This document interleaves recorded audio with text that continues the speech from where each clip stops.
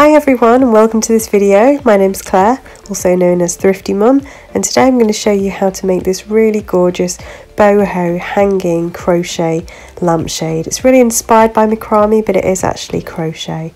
So if you stay with me I'll show you exactly how to make it. So it looks quite complicated but there are really only kind of basic crochet stitches that you do need to know such as um, starting with a slip knot, chaining, working into the back loop just a slip stitch simply, working into a chain space and then um, a single crochet stitch as well as a slip knot and slip stitch. So they're the basic crochet stitches that you're going to need for this project. So the first thing you need is your thrifted lampshade. So here you can see that uh, would have been quite nice once. Um, I'm going to turn it into something very different. I just got this at a local charity shop and I think I paid £5 for this in the UK. Um, and just start off by cutting off the fabric and there's kind of like a lining underneath as well. So just start by taking it off um, ruthlessly with some scissors and cut all the way around.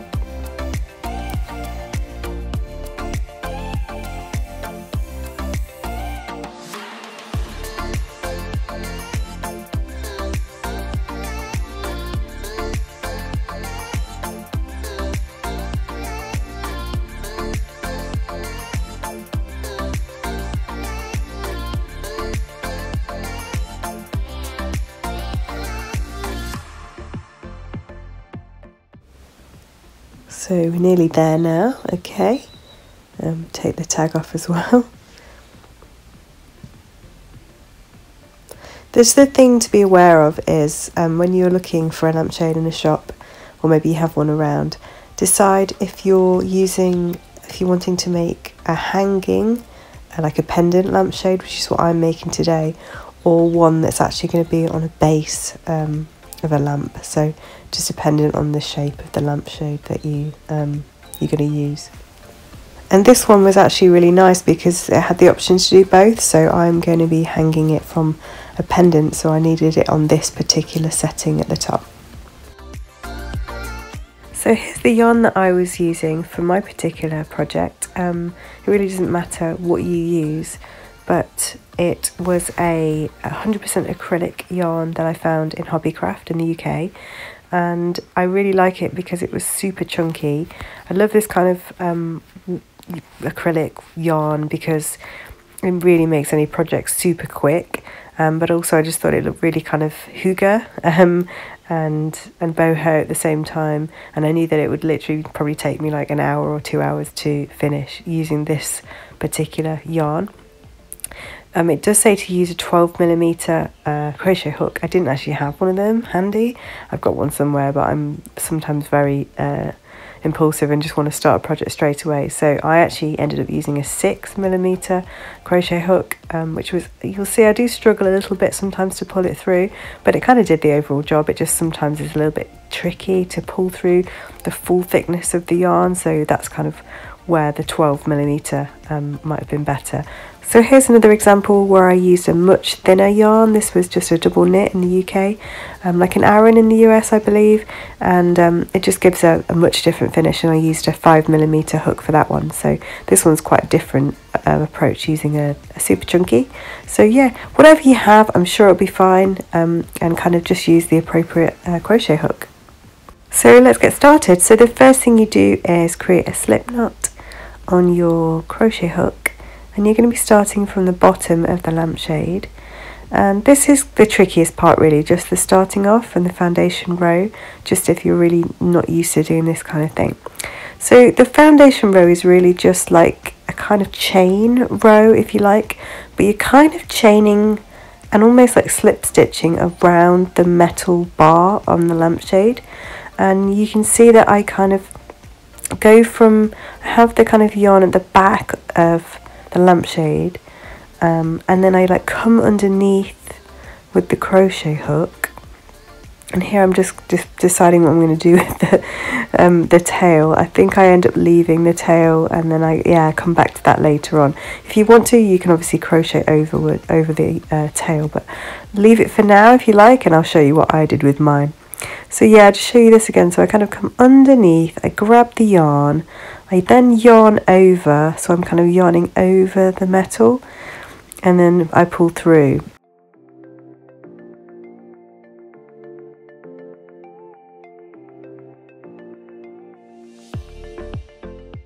So you go underneath, grab the yarn, yarn over the top and then pull through the loop and then pull through the second loop and then pull it really, really tight. So the aim is that you get all the stitches really close together so you can't see any of the metal bar.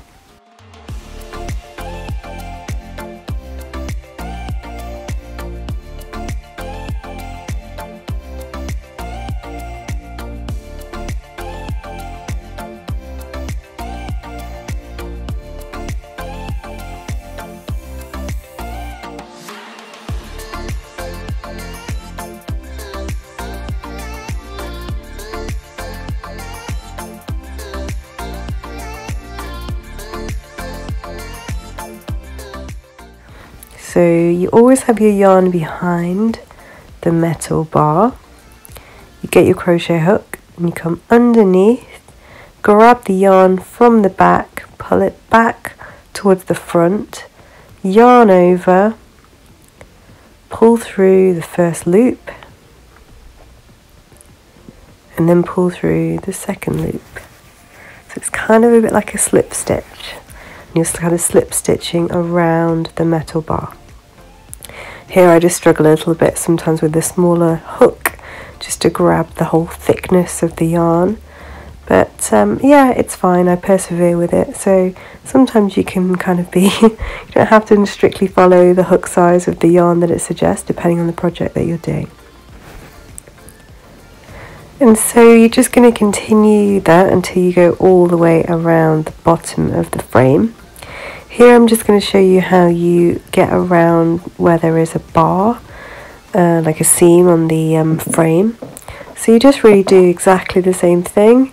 You keep the yarn at the back um, and then kind of pull it through to the front and then it should just naturally hide the bar on the frame and then you just yeah you carry on around the entire base of the frame. So I'll just continue to do that and then I'll just meet you just before I join at the at the end.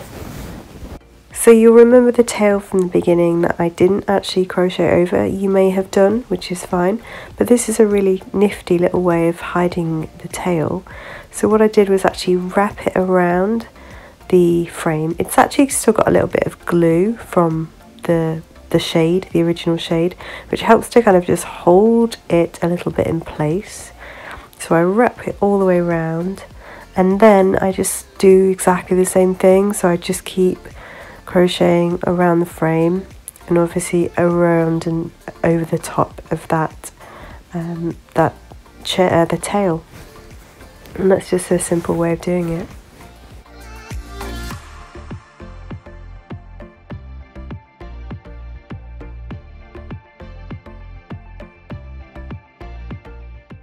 So here we are literally at the end where we're just going to slip stitch to join. Um, what I did was just found the original, the first um, foundation stitch if you like and then I actually just slip stitched into I think believe the back loop. If you want to go into both of those um, loops that's fine you can. Um, the yarn was just super thick for me so I just went into the back loop. And that is your first um, the chain foundation chain base done. Um, so remember your yarn was always at the back. Now it's really handy to actually bring it to the front now from um, this point forward. So it's always in front of you and we're going to be starting to now um, work into the lampshade. So the first thing you want to do is really decide on the overall look that you want to achieve. And this is kind of a little bit of an experiment, if you like. So depending on, as I say, the thickness of the yarn, the thickness of the hook, the size of the lampshade, this may not be what you go for. Um, and the one that's in front of me on the floor, I actually chained three. But this one, I'm just playing around at the beginning, just deciding on what I actually want to have in terms of the um, the space. Can see my little daughter's feet just um, come into this the screenshot here. So yeah, I have a play around with it, and I did three chains for the chain space originally, and then I decided actually it doesn't quite work with this size yarn and this size um, lampshade. So what I did was actually chain five. So this was going to be what my overall design was for this lampshade.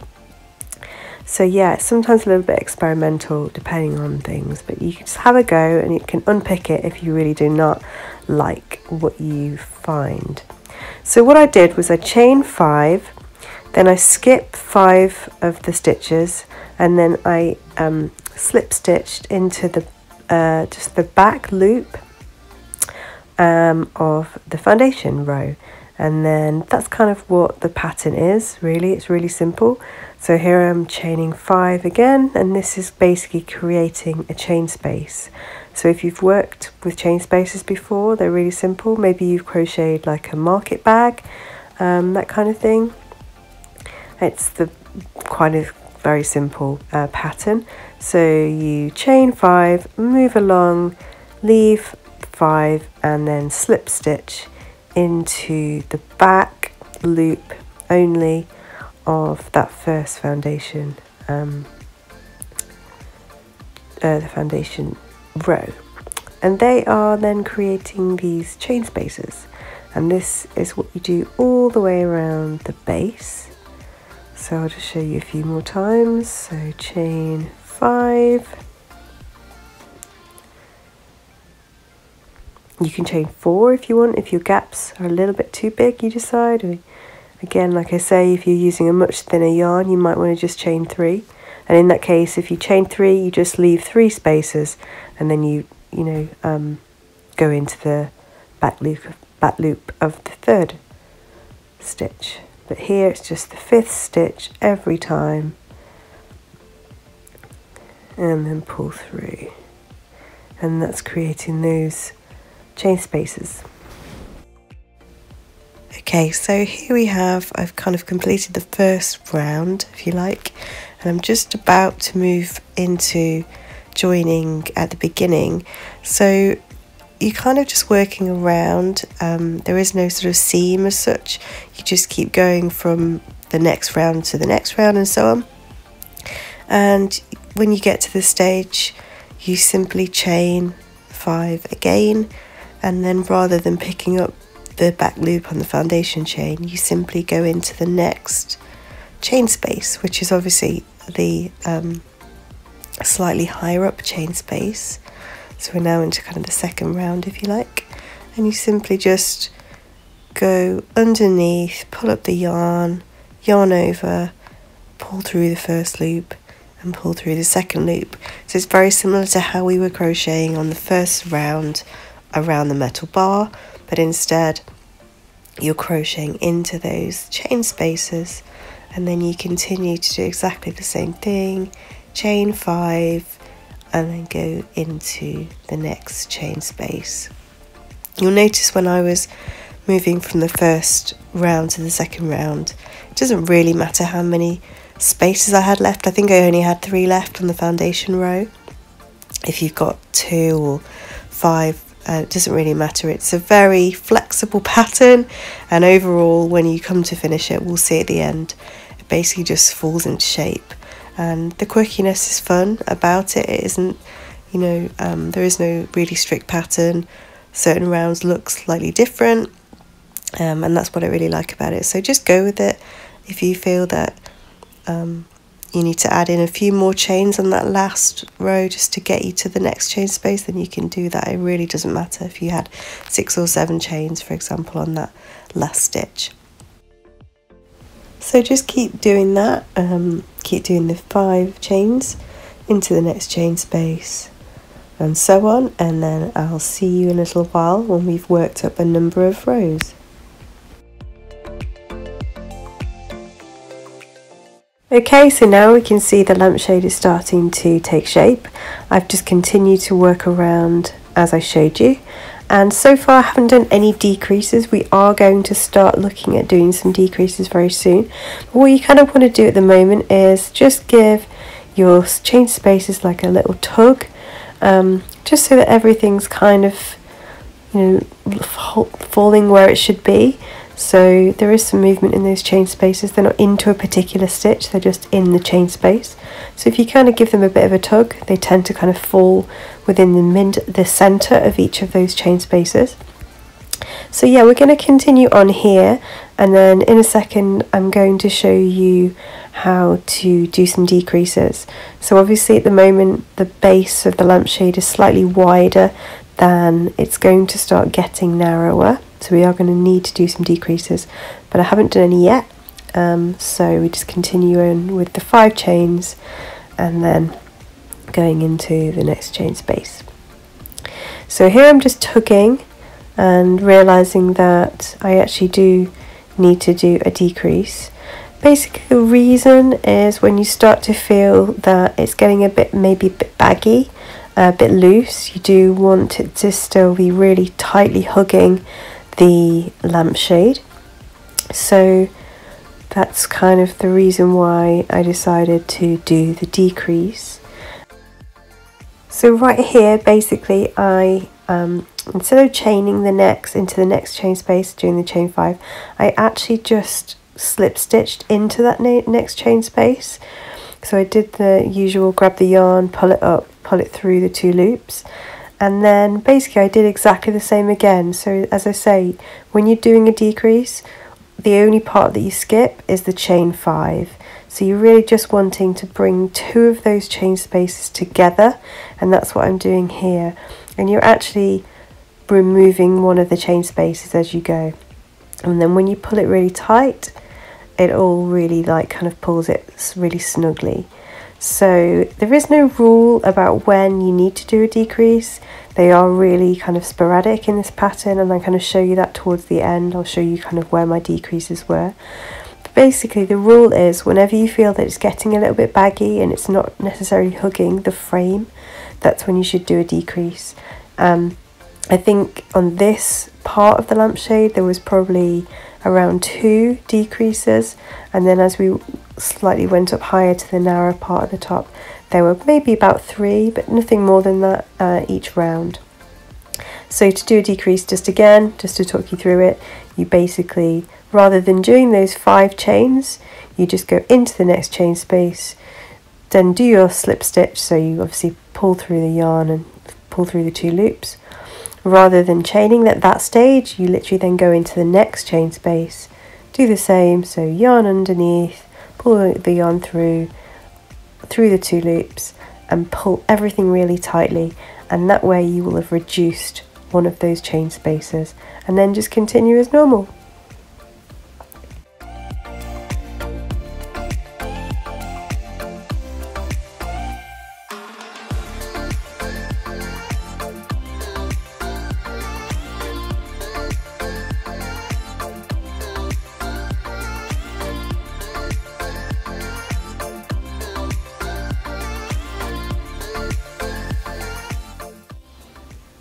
So here I'm just kind of showing you where I did the decrease. So you see here where I'm just poking my finger in. That was the kind of chain space that we've now closed and it's hugging it really nicely and tightly now. So we just continue on round and I'll show you where I do the next decrease.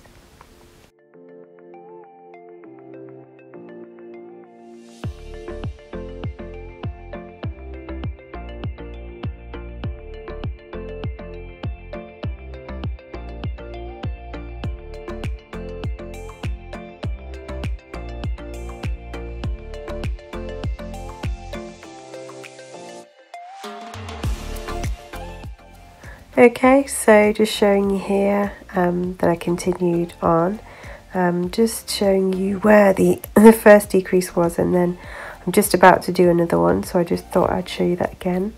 So I kind of did the decrease where I just showed you and then I went on to do um, five or six chain spaces. I've just decided here that it's starting to get a little bit loose again so I just did my chain five and then did my slip stitch as normal. And then you're going to see now instead of doing another chain five I'm basically just going to pull everything tight and then I'm going to go straight into the next chain space without doing any chains. So I'm just going to go in pull up a loop yarn over pull through the loops pull everything really tight and then that's it. That's another decrease done. So then I'll do you can just show you there the little hole that I've created that I've closed that chain space. And then it's just really holding it nice and tight now just double checking that. So here there was kind of a decrease on one side of the lamp and then it kind of worked out that the next decrease was on the other half the other side of the lamp. And then I just continue as normal back to doing the chain 5 and continue as normal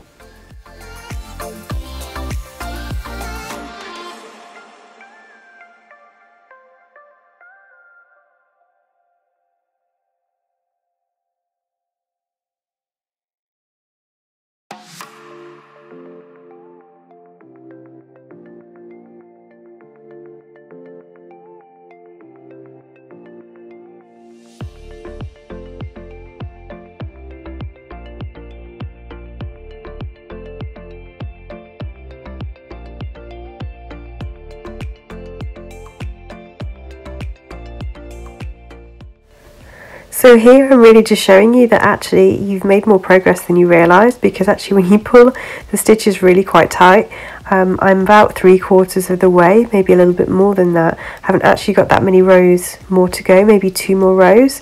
So yeah, you might want to start to just have a bit of a tug on your work at this stage.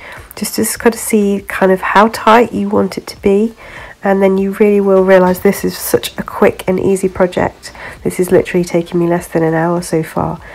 So just keep going and keep doing decreases where you feel you need to. You may start to need to do a few more at this stage just because it's getting quite narrow.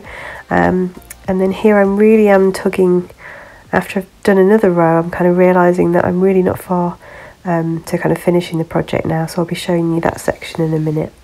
But yeah, just see how you go in terms of the decreases. If you feel that you need to just go back and unpick and make it a little bit tighter and include some more decreases, then you can do that.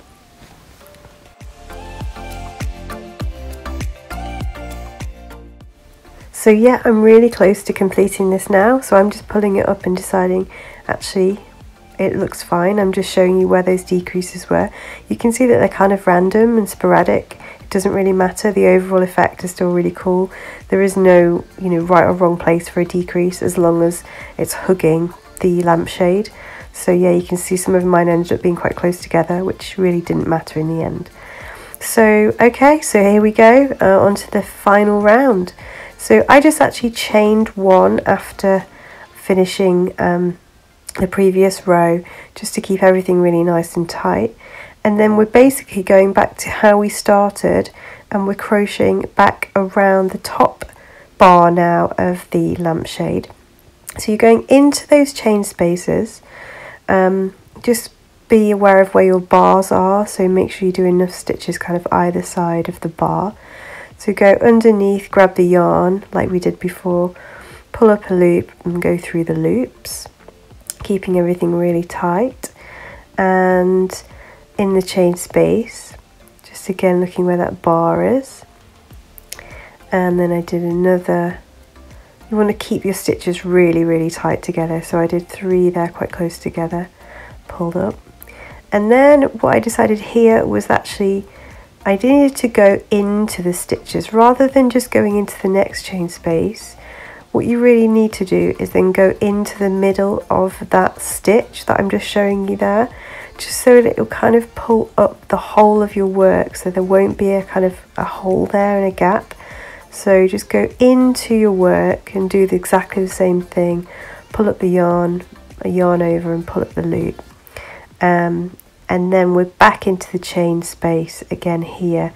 We've now gone across the bar and continue on. So again keep your yarn behind you like you did on the first round the foundation round pull underneath pull the yarn through yarn over and pull across. So it's exactly the same as what we were doing on the first round. It's really um, really nice at this stage to know that you're really quite close to finishing. So just keep everything really tight, just pull up everything so it stretches really nicely and just continue to do that. And in each chain space, again, there's no rule about how many stitches, it just, it's kind of how it looks, how it feels. I think I was doing around three or maybe four, depending on how it was kind of stretching and also depending on where those bars were falling. And then each time I would go into those stitches and um, as well as the chain spaces.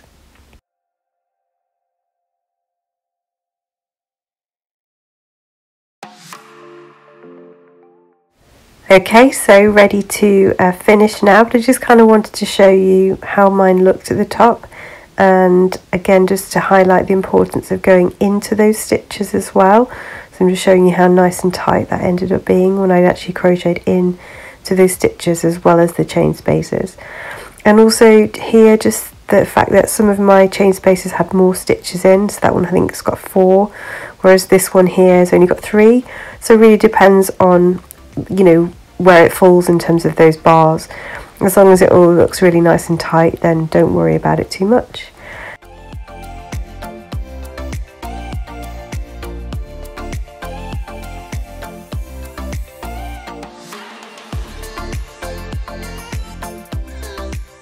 And to finish off, just slip stitch into that first stitch of that row.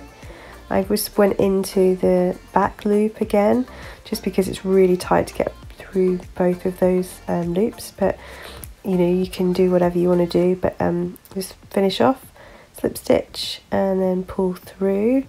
Um, obviously cut off if you've got any remaining yarn. I still had a little bit of wool left from just my one ball which was really good. And it was one ball that cost me about £6.50 from Hobbycraft. So really inexpensive and really quick and easy project. And then just weave in your ends how you normally do. If you do that with a needle, that's fine. I just tend to kind of pull it through a few times with my crochet hook and tie off. So I'll just show you how I do that now.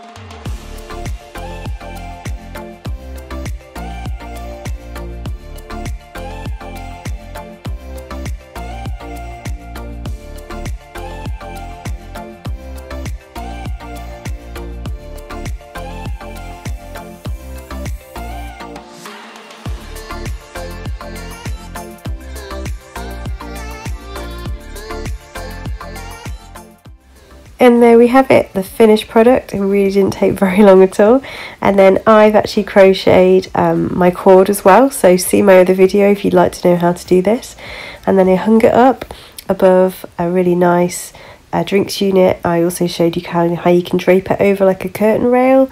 So basically anywhere you want to hang this on a hook, maybe if you don't want to have like a, a standard lamp, you just want to hang it over some bookshelves it's just so cool, it's so versatile. You can literally move it around anywhere you want. um, just to show you as well because my lampshade was able to be put onto a lampshade just show you what it looks like on a lampshade as well so it's just really cute really kind of I think bang on trend at the moment with the boho look and just really cozy and so inexpensive um, this costs just over £10 so thanks for watching and really good luck with your project and really hope that you're able to achieve a similar uh, look and subscribe for more videos. Thanks very much. Bye